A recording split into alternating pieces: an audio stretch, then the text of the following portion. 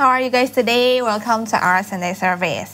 Selama seminggu ke belakang, Reza dengar banyak dari teman-teman yang UTS-an, yang ujian, yang nugasan, atau mungkin kelas online yang kalian udah mulai bosen, cuma lihat lewat Zoom atau lihat video call doang. Tapi Reza mau ingetin tetap semangat teman-teman, meskipun semua kelihatannya kayak pasif, tapi kalian nggak boleh bolos kelas, kalian nggak boleh males-malesan belajar buat ujian ya. Jadi tetap semangat. Hari ini yuk sebelum kita ibadah, Reza mau ajak teman-teman untuk berdoa. Tuhan kami bersyukur untuk hari ini selama seminggu kemarin Tuhan kami boleh belajar. Tuhan mungkin hari-hari ini kami sedang capek kami sedang lesu banyak kegiatan yang kami uh, pusingin Tuhan. Tapi hari ini kami membawa hati kami kami mau singkirkan kepusingan hati kami kepusingan uh, kepala kami. Kami mau serahkan hati kami untuk Tuhan beribadah bersama-sama ya Bapak. Thank you Tuhan. Dalam Tuhan Yesus. Haleluya. Amin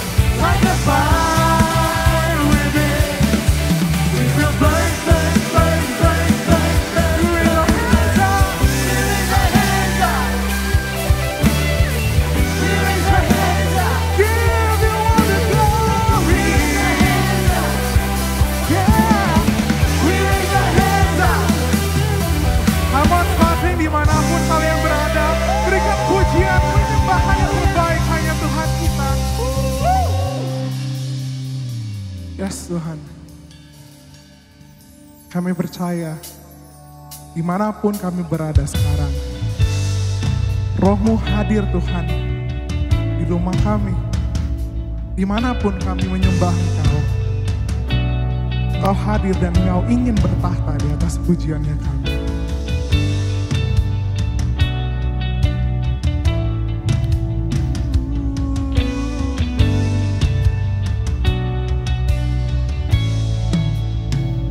You are here,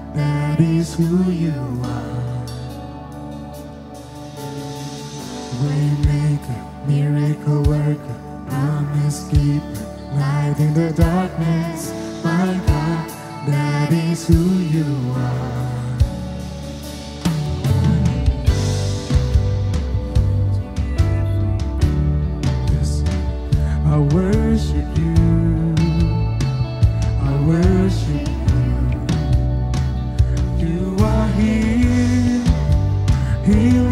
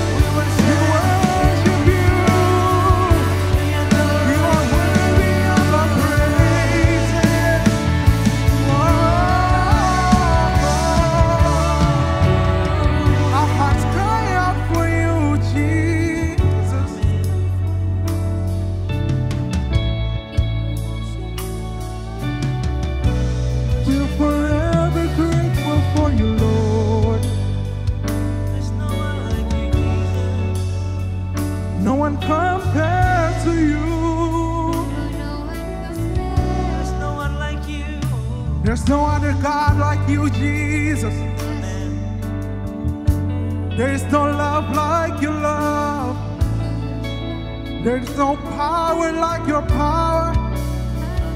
No mercy like your mercy. No grace like your grace. You are wonderful. Oh, Jesus. My God. There's no one like you. Hari Tuhan kami mau mengingat kembali kebaikan Engkau. Kami mau kembali terpesona lagi Tuhan terhadap Engkau. Kami mau memberikan pengharapan kami lagi kepada Engkau Tuhan. Kami mau beriman kembali kepadamu Tuhan. Karena kami tahu setiap janji-janjimu tidak akan mengecewakan kami. Dan bahkan firman Tuhan hari ini mau mengingat- mengingatkan kita di Roma 8 ayat 28. Kita tahu sekarang bahwa Allah turut bekerja dalam segala sesuatu untuk mendatangkan kebaikan bagi mereka yang mengasihi Dia, yaitu bagi mereka yang terpanggil sesuai dengan rencana Allah. Hari ini saudara-saudara teman-teman sekalian. Saya tak, pribadi tak tahu bagaimana kondisi hatimu. Mungkin kau merasa Tuhan jauh. Mungkin kau merasa Tuhan sedang baik-baiknya dalam hidupmu. Mungkin kau sedang gagal. Mungkin kau sedang berhasil. Hanya Tuhan yang tahu. Tapi hari yang pasti Tuhan turut bekerja di dalam hidupmu. He says he's working when you are sick. Dia bekerja saat engkau sakit. Dia bekerja saat kau gagal. Dia bekerja atas pekerjaanmu. Dia bekerja atas studimu. Dia bekerja atas hubunganmu. Dia bekerja atas imanmu. Dia bekerja atas pertumbuhanmu. Dia bekerja atas keluargamu. Dia bekerja atas semua hal di dalam hidupmu.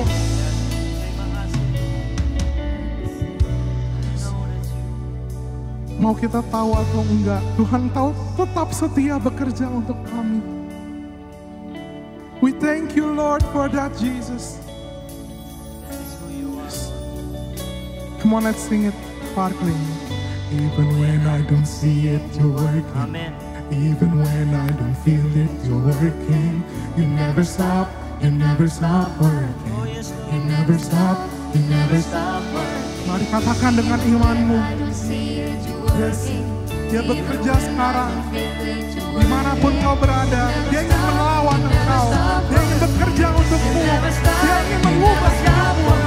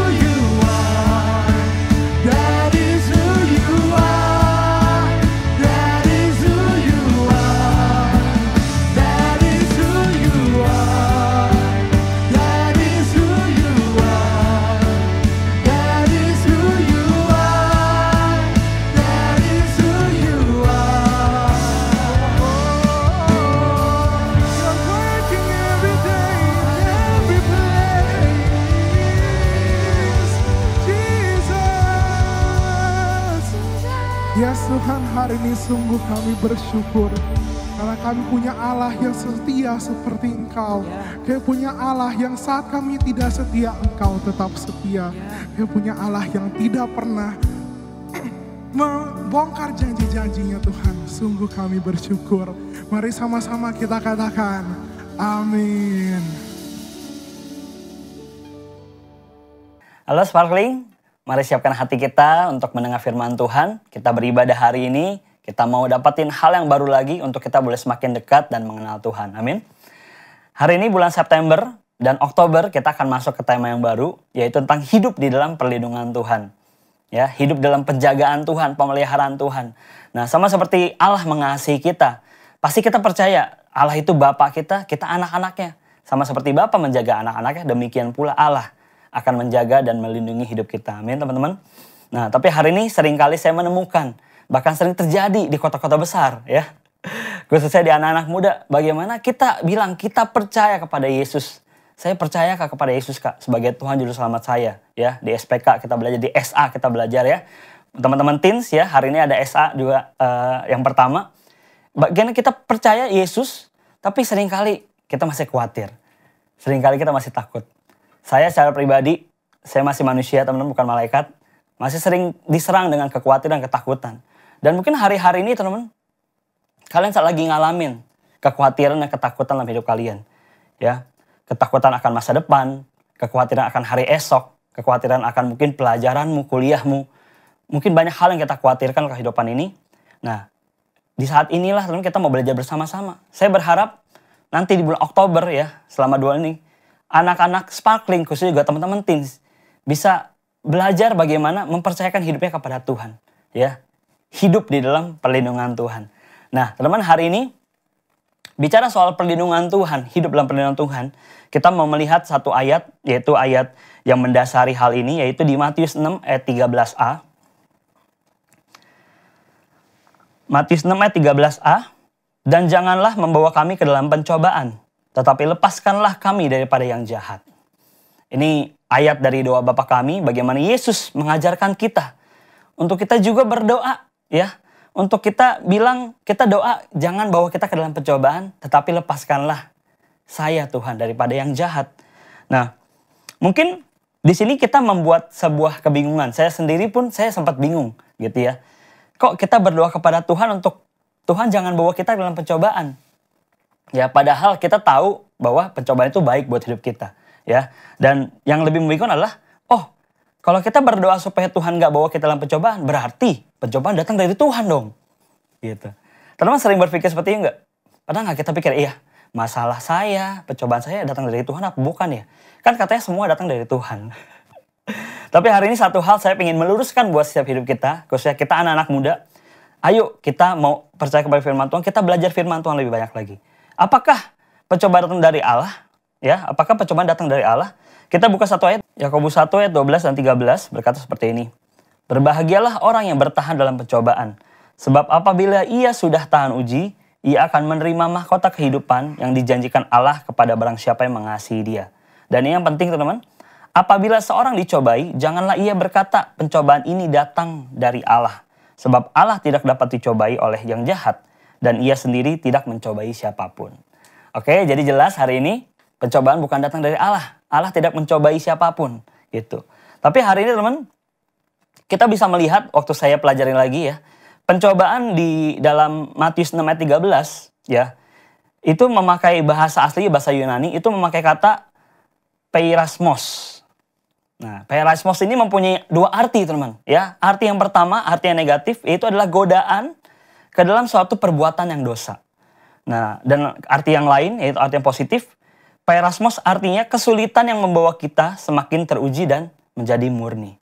Nah, tapi di- jadi dari ayat ini, teman, dari kata ini kita bisa menyimpulkan bahwa pencobaan ada dua.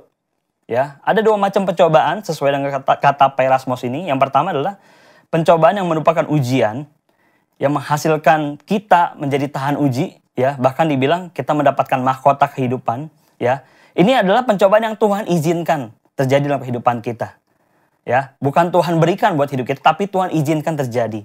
Ya, mungkin dari ini kita bisa melihat dari kisah Ayub, ya.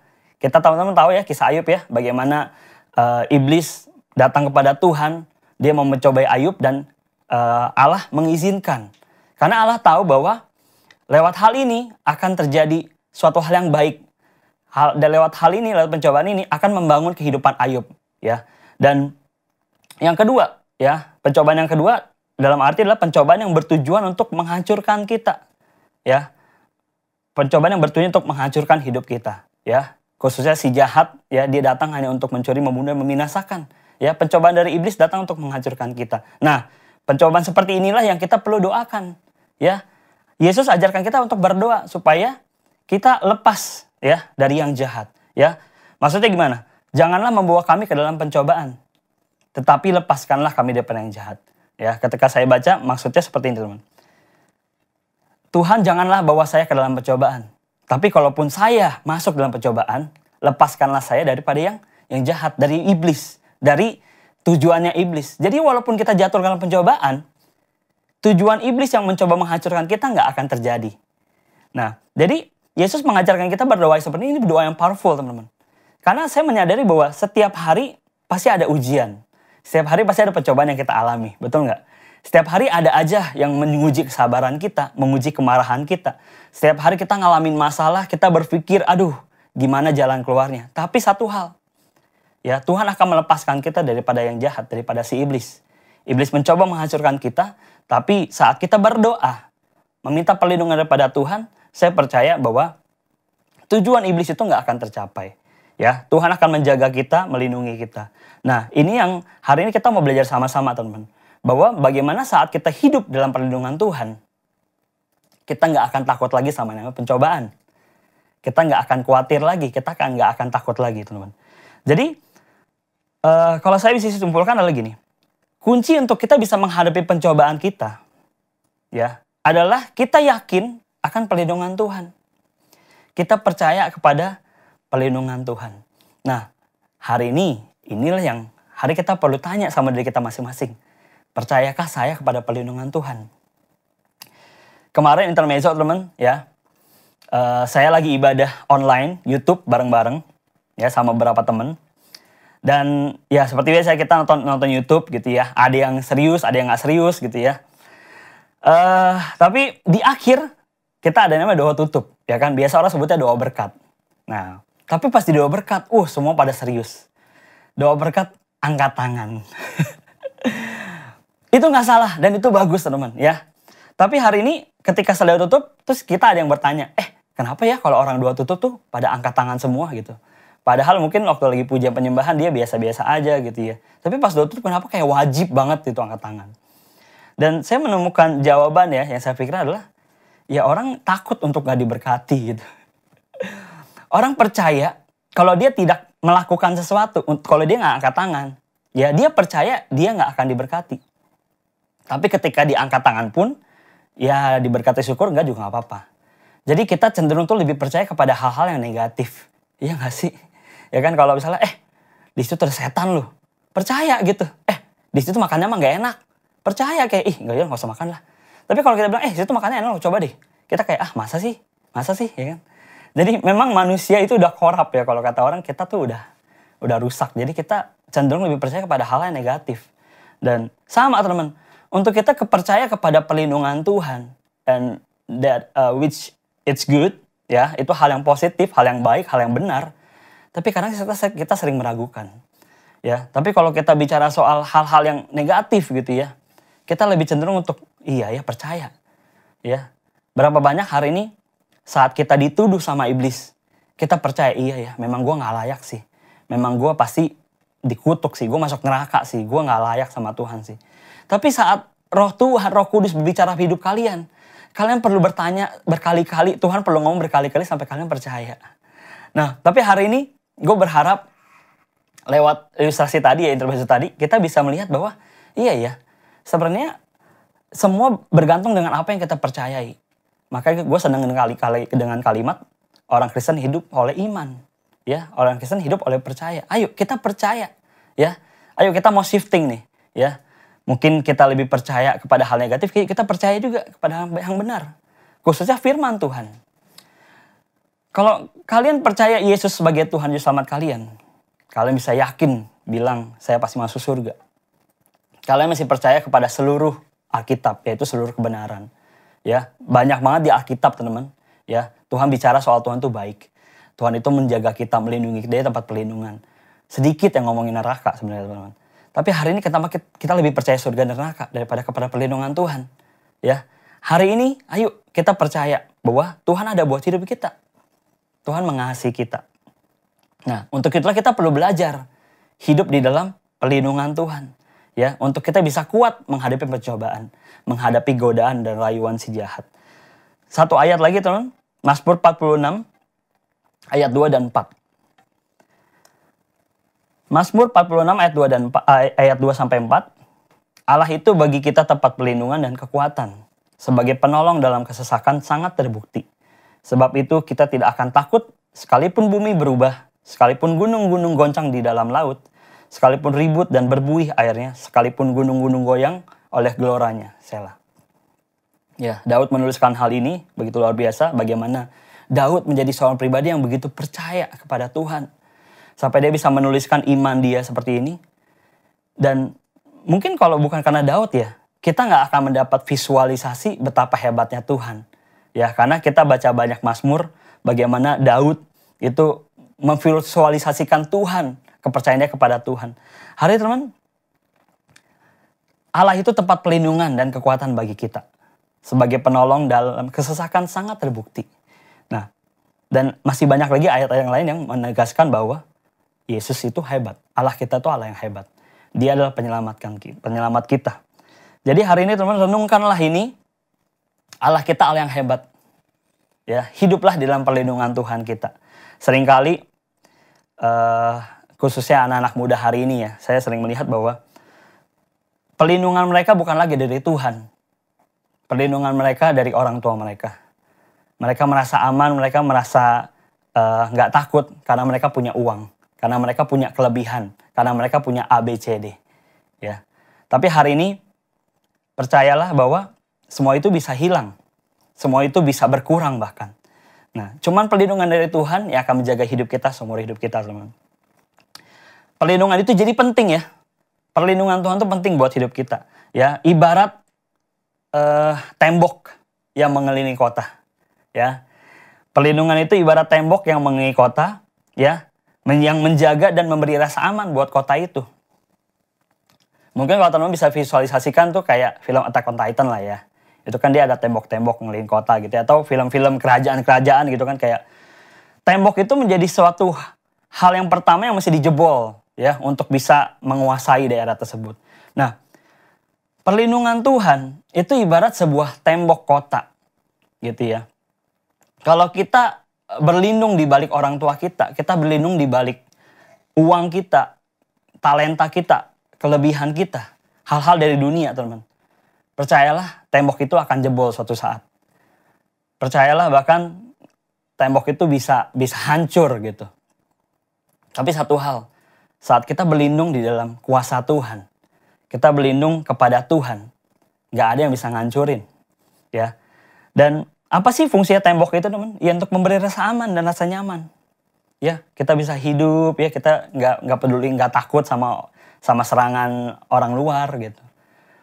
Kita nggak khawatir. Makanya kalau menurut saya orang yang uh, hidup di dalam rasa takut tuh nggak enak banget ya. Orang yang hidup dalam khawatir, rasa takut tuh nggak enak banget. Makanya dia butuh Tuhan. Kalau hari ini teman engkau lagi diliputi rasa takut, khawatir, ayo engkau butuh Tuhan engkau butuh perlindungan dari Tuhan. Minta berdoa kepada Tuhan. Perlindungan Tuhan kalau saya bisa bantu jelaskan, saya bisa ilustrasikan dengan tiga hal. Ya, perlindungan Tuhan itu ibarat yang pertama kayak asuransi. Ya, asuransi itu asuransi ya.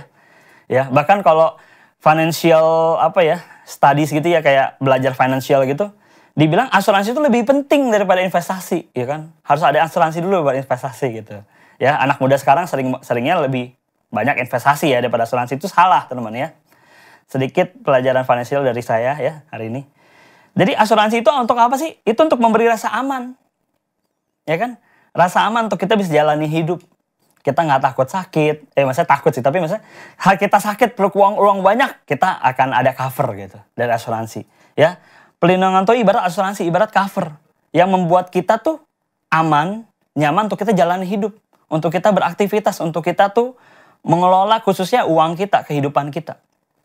Nah, pelindungan Tuhan dibaca se- sebuah asuransi. Yang kedua, teman, pelindungan Tuhan itu pelindungan Tuhan bisa kita ilustrasikan dengan seperti baju zirah perang gitu ya. Orang kalau berperang tuh mesti pakai baju zirah yang dari besi gitu ya, yang berat gitu.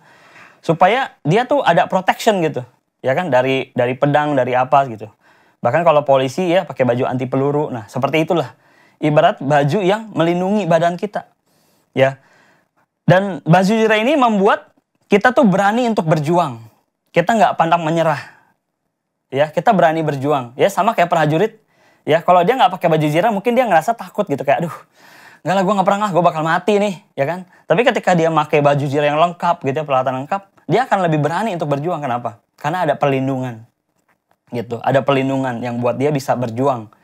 Nah, yang ketiga, perlindungan Tuhan itu kayak checkpoint checkpoint atau kalau mungkin teman-teman gamers itu kayak save game gitu ya kayak gamenya di save gitu jadi checkpoint itu menandakan bahwa kita punya kesempatan yang baru lagi walaupun kita gagal kita nggak akan mulai dari nol gitu itulah perlindungan Tuhan ya jadi kalau saya bilang perlindungan Tuhan itu bicara soal bagaimana kita punya rasa aman yang membuat kita berani untuk kita berjuang di dalam pencobaan karena kita percaya selalu ada kesempatan yang baru walaupun kita gagal. Jadi kalau buat saya kalau orang tidak hidup dalam perlindungan Tuhan, yang pertama dia akan khawatir, hidup dalam rasa takut. Yang kedua dia nggak dia nggak akan bisa berjuang. Dia pasti eh, orangnya pantang menyerah apa gampang nyerah gitu teman-teman. Ya. Yang ketiga dia orangnya nggak berani coba, nggak berani melangkah gitu. Karena dia takut gagal. Ya. Tapi hari kalau kita punya perlindungan dari Tuhan, itu ada ibarat ada asuransi, ada rasa aman dari Tuhan yang Tuhan berikan buat kita bahwa jangan takut. Ayo lu berjuang, ayo lu even lu melangkah. Gitu. Ayo lu coba gitu. Karena apa? Karena ada rasa aman. Nah, dengan begitu teman, saya percaya saat kita hidup dalam perlindungan Tuhan, hidup kita akan lebih maksimal. Hidup kita akan lebih nyaman kita jalanin teman. Kenapa? Karena kita percaya, oh iya, gue gak usah takut. Tuhan ada buat hidup gue. Oke, hari ini ada satu kisah yang saya pengen eh, kita juga eh, lihat sama-sama, yaitu tentang eh, Nabi Elisa, ya. Di dua Raja-Raja 6 ayat 15 sampai 17, kita baca di situ aja. Ini ceritanya tentang Raja Syria yang marah kepada Nabi Elisa dan dia ngutus pasukan untuk nangkep si Nabi Elisa ini. Ya, mungkin teman-teman pernah baca ceritanya. Oke, di dua Raja-Raja 6 ayat 15 sampai 17 saja kita baca ya. Ketika pelayan abdi Allah bangun pagi-pagi dan pergi keluar, maka tampaklah suatu tentara dengan kuda dan kereta yang ada di sekeliling kota itu. Lalu berkatalah bujangnya itu kepadanya, celaka tuanku, apakah yang akan kita perbuat? Jawabnya, jawab Elisa, jangan takut sebab lebih banyak yang menyertai kita daripada yang menyertai mereka. Lalu berdoalah Elisa, ya Tuhan bukalah kiranya matanya supaya ia melihat. Maka Tuhan membuka mata bujang itu sehingga ia melihat. Tampaklah gunung itu penuh dengan kuda dan kereta berapi sekeliling Elisa.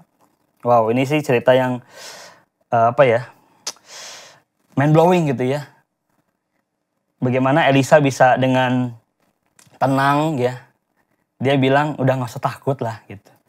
Yang menyertai kita lebih banyak kok gitu. Wah pas dibuka matanya, mata rohani ternyata bener teman-teman ya. Di sekeliling gunung lebih banyak lagi pasukan-pasukannya Elia, pasukannya dari Tuhan. Nah, mungkin dari hal ini kita bisa bisa belajar bahwa ayo kita melihat dengan mata iman kita. Ya, mungkin secara realita nih, begitu banyak orang yang ingin menjatuhkan kita, begitu banyak hal yang ingin menjatuhkan kita, ya, begitu banyak kekhawatiran dan ketakutan dalam hidup kita. Tapi teman, sadarilah, ya, ada perlindungan dari Tuhan. Itu seperti pasukannya berkuda, ya, bahkan kuda api lagi katanya kan, wah mantep banget nih ya, yang menjaga hidup kita, gitu. Kita nggak usah takut gitu. Apa yang kita butuhkan, mari kita minta. Dia adalah Bapak. Dia Bapak, tanggung jawab Bapak adalah menjaga anaknya. Jadi kalau hari ini saya bisa eh, ngomong sombong teman-teman, itu udah tugasnya Allah menjaga hidup kita loh. udah tanggung jawabnya Bapak melindungi kita.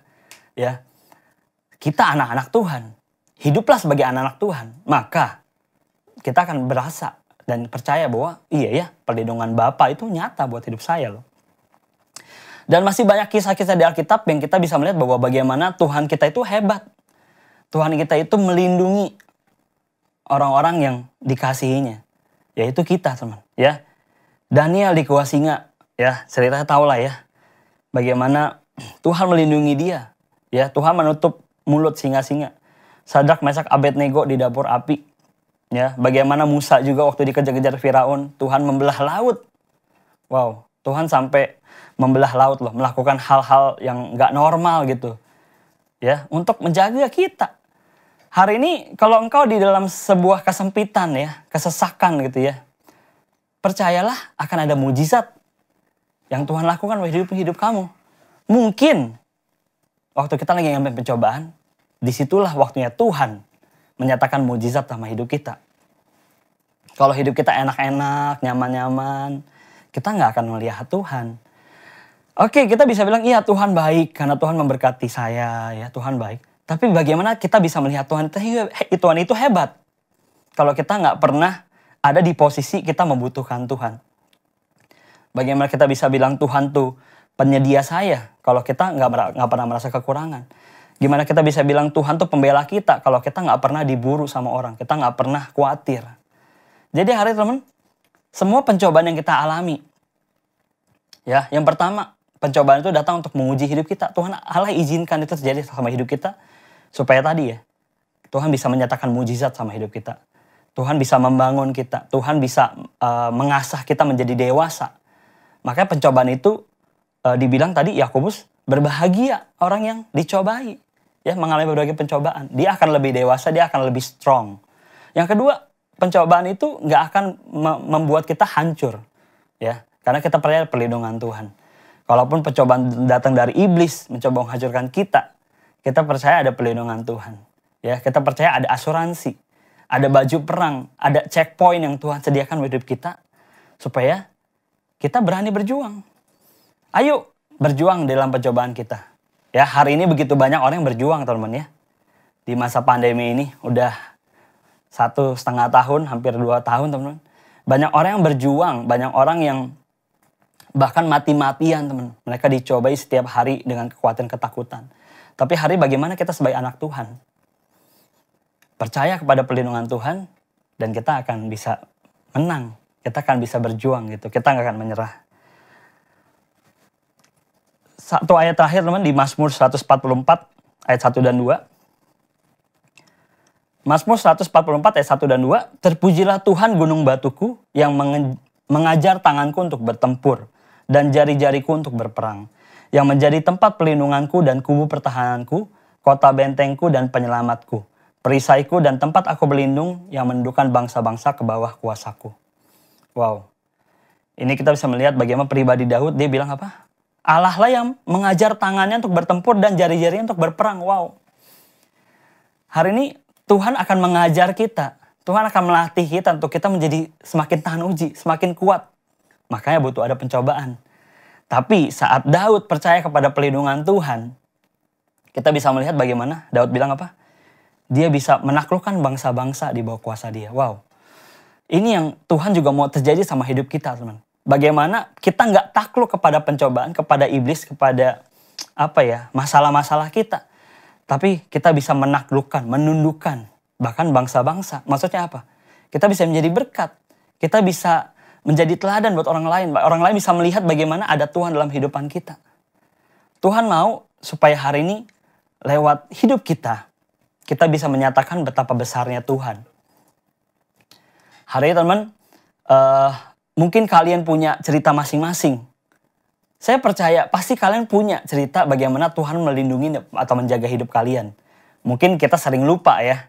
Tapi hari mau nggak engkau hari ini ingat-ingat lagi? Iya ya. Banyak loh kejadian Tuhan menolong saya. Banyak kejadian Tuhan tuh menjaga saya. Tapi kok saya sering kali masih khawatir ya. saya sering kali masih takut ya. Tapi itu manusiawi teman. Coba hari kalian pikir deh.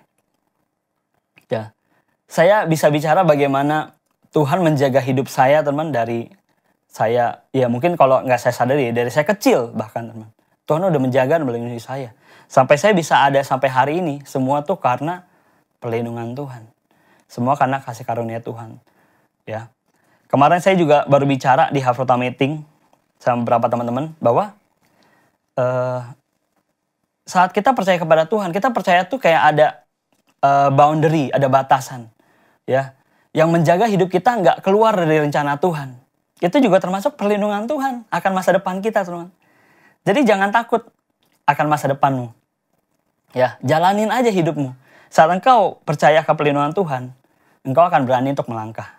Ya, coba hal ini, coba hal itu, coba hal ini, coba hal itu. Cobalah semua hal, teman.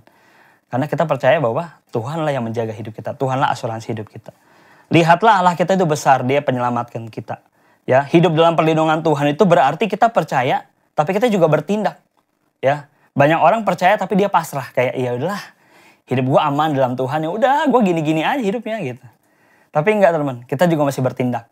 Kenapa kita bertindak? Karena kita tahu walaupun kita gagal, ada asuransi, ada perlindungan Tuhan yang menjaga hidup kita. Ada checkpoint yang membuat kita, oh kita punya kesempatan yang baru. Seringkali saya gagal, ya. Saya belajar dari kegagalan saya. Tapi saya bersyukur bahwa ada perlindungan Tuhan yang membuat saya ya nggak perlu dari nol lagi gitu. Ya, Tuhan akan menjaga hidup kita. Iblis mencoba menghancurkan kita. Eh, iblis mencoba untuk membawa kita semakin turun. Tapi kasih karunia Tuhan, perlindungan Tuhan yang akan menjaga hidup kita. Tetap di dalam rencana Tuhan. So hari teman-teman, ayo renungkan terus kebaikan Tuhan. Renungkan terus bahkan penjagaan Tuhan atas hidup kita. Dan biarlah pencobaan-pencobaan yang kita alami setiap hari, kita bisa hari ini berubah pikiran. Bahwa pencobaan itu baik buat hidup kita. Yang kedua, pencobaan itu nggak ada apa-apanya. Gitu. Karena apa? Karena kita punya perlindungan. Ya. Kita punya apa ya? Asuransi gitu. Ya. He he got your back. Ya. Dia Allah yang hebat, dia akan menjaga hidupmu dari belakang, teman. So hari ini mari mulai hari kita melihat pencobaan dengan mata yang berbeda, dengan pandangan berbeda. Karena kita percaya ada perlindungan Tuhan yang membuat kita boleh terus berjuang, nggak takut gagal, nggak khawatir, ya. Sama seperti Elisa teman, ayo kita melihat dengan mata iman kita, oh ternyata penjagaan Tuhan tuh begitu solid dalam hidup kita.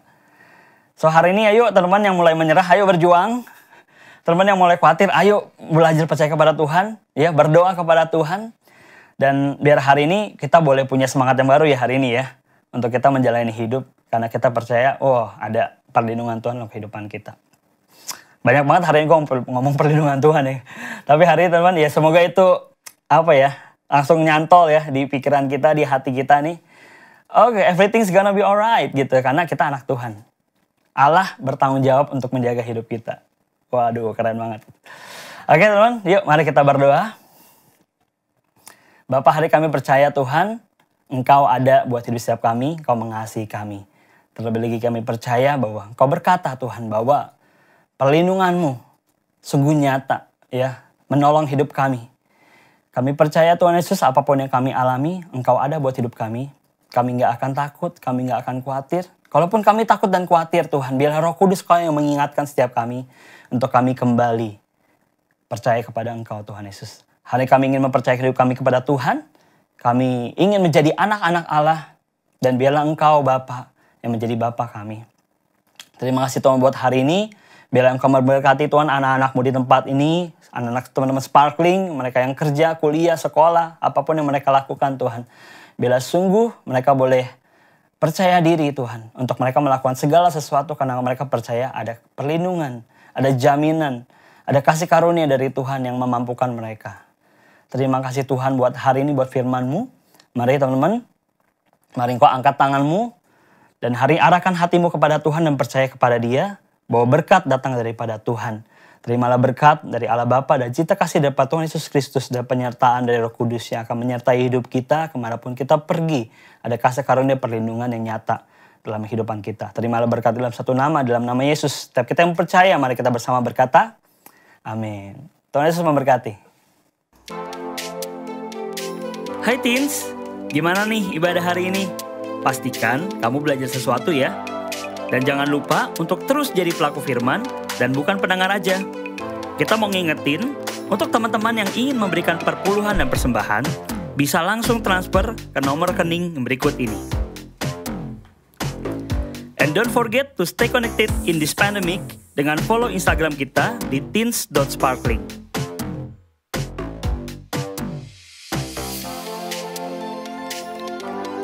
See you next week and have a blessed weekend.